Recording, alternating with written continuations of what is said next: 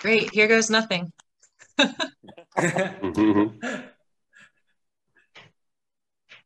so uh, I'm gonna I'm just gonna start. Uh, good morning, good afternoon, or good evening. My name is Stacy Smedley. I'm the executive director of Building Transparency, a nonprofit whose mission is to provide the open access data and tools necessary to account for embodied carbon emissions. And today, I'm here to talk briefly about their role in climate change and climate action. Typically, when we talk about things like hurricanes, droughts, extreme heat, and forest fires, we call these events natural disasters.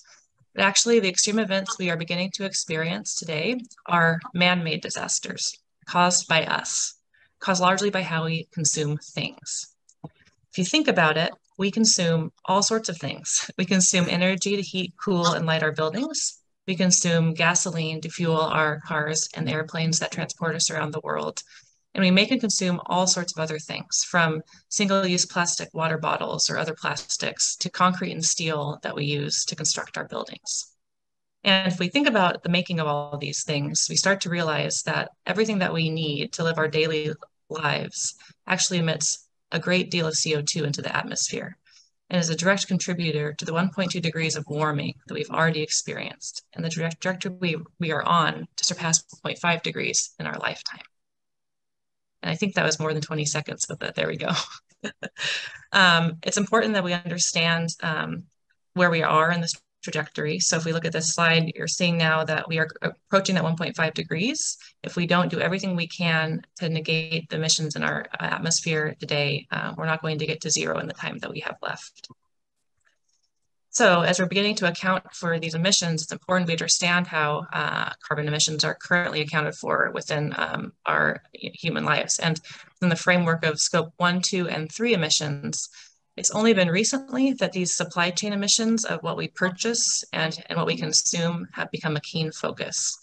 These include things that we uh, purchase for uh, buildings and for making products.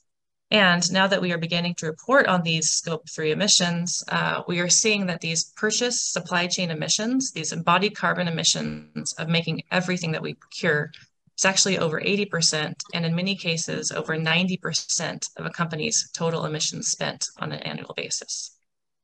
Now, putting these into the context of buildings, we know that buildings contribute almost 40% of global CO2 emissions, with over 10% of those emissions being the embodied carbon emissions of all of the materials and construction activities it takes to build our built environment and infrastructure. If we begin to visualize those embodied carbon emissions, we can start to make them tangible.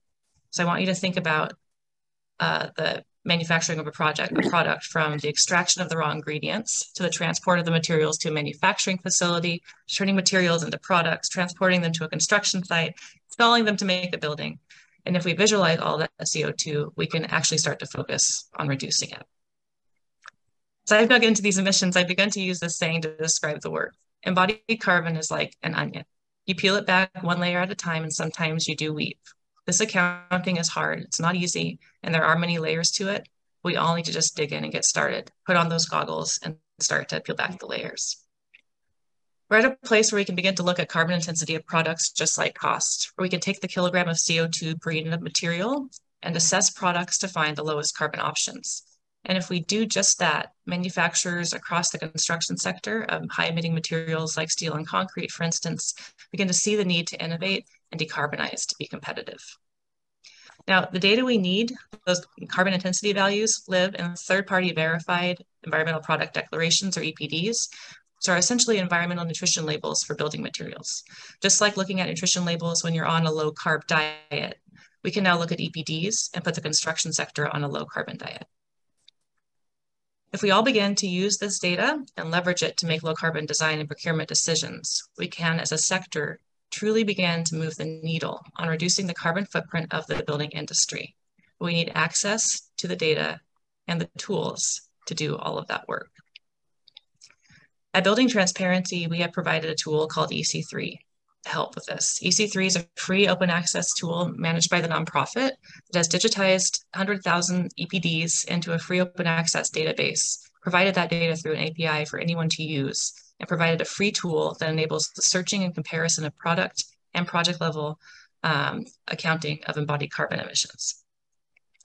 The tool is supported and informed by a cross-section of industry from owners, contractors, architects, engineers, manufacturers, and other key stakeholders, which we're very proud of because embodied carbon accounting and reduction is a team sport that takes everyone across the value chain of construction.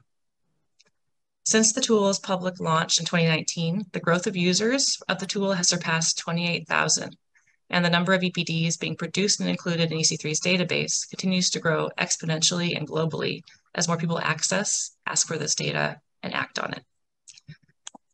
There is great momentum right now in the private sector to require EPDs and embodied carbon accounting to meet their climate targets and tackle the scope three emissions that account for most of their footprint.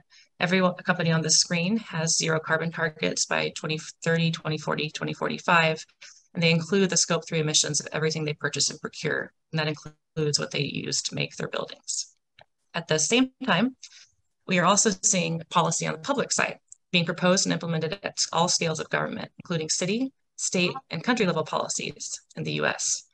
Buy clean policies have been implemented that require EPDs at time of procurement, and there are now incentives in place to incentivize the lowest carbon option to be selected at time of bid.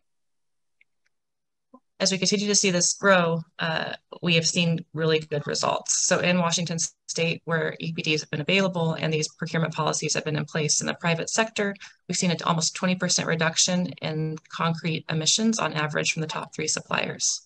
20% in just three, actually two years. If we think about applying that 20% of emissions reduction to concrete globally, we can start to understand what this impact really looks like. Imagine taking uh, millions of cars off the road the year, or the equivalent of 1 trillion trees, a carbon sequestration for a year. That's what would happen if we all just took 20%, uh, a 20% cut of emissions for concrete today. And it's possible. So my last question really to end my brief 20 by 20 is, is what's stopping you? What's stopping you from putting on those goggles, digging into these emissions and taking action? We have the data, we do have the tools now, and now it's just time to do the work. Thank you.